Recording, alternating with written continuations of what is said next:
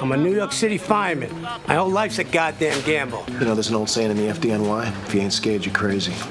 It's about doing the job. It's about me getting home safe and sound in the morning to see my kids.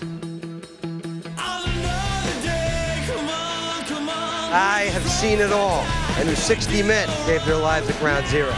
We lost four guys in this house. One of them was my cousin Jimmy. Having a drink. I got an excuse. I'm dead. Daddy, who are you talking to?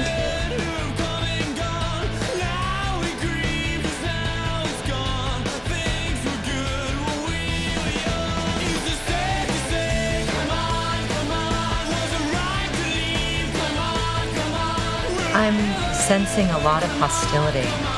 You are very, very perceptive.